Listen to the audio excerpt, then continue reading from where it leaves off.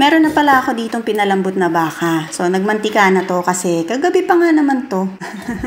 Buto-buto or parteng bulalo. Tapos ay ilalagay lang natin dito sa panibagong pan. Yung pinagpakuluan niyan, pwera lang yung medyo mantika na namuo ay aalisin natin. Dagdagan natin ito ng tubig.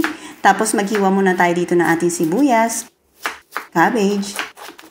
Hiwain lang natin yan. According sa gusto natin. Yung iba gusto naman medyo maliliit ang pagkakahiwa niyan. Ay, okay na okay lang. Green onion, pampasarap din to at dagdag ng aroma at sarap pagka hinihigop mo yung sabaw. Itong ating pechay, syempre, pagkatas natin inalis yung dulo, ay hihiwain natin or lilinisan natin yan ng mabuti. Itong ating patatas, balatan lang natin at hiwain lang natin ng katamtamang laki lang itong ating corn. Siyempre, gusto natin yan. Para mas masarap.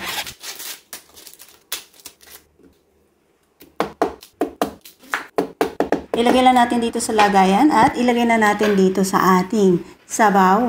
Kasama ng sibuyas, takpan at pakuluan hanggang sa lumambot na itong ating corn. Binalibaliktad ko lang to kasi talagang chinek ko to at hindi pa ganun kalambot. I-check natin kapag medyo malambot na ay pwede na yan. Lagay na natin yung ating patatas.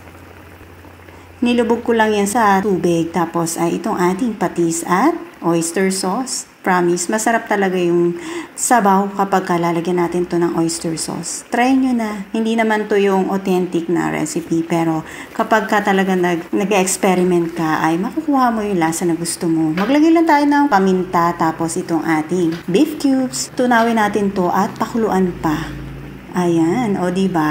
Kapag ka kumukuluto ay talaga namang napakasarap ng tingnan. Yan na yan pa lang ay kailangan na napapaisip ka na kailangan mong magsaing ng marami at gaganahan ka. Lagyan lang natin to ng green chili, yung ating cabbage at ang ating green onion. At syempre, itong ating pechay. Takpan lang natin ng sandali at pakuluan ng sandali hanggang sa medyo lumambot lang itong ating gulay. Ayan, diindinan ko lang yan para naman malubog lang ng kaunti dito sa ating sabaw. Ang sarap-sarap naman kapag ka ito pa lang talaga, yung pagkulo pa lang ay iniisip mo na kung anong masarap na sausawan.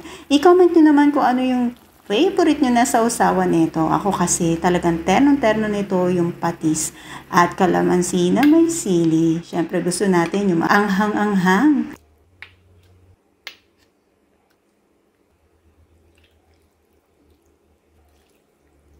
Kung nag-enjoy ka dito sa ating recipe na tamang-tama sa tag-ulan at taglamig, kahit naman tag-init ay hindi ka mapapasay no dito sa ating dilagang baka, ay huwag mong kalimutan mag-follow dito sa ating Mami K of Fresh Kusina. Lambot, sarap. Enjoy!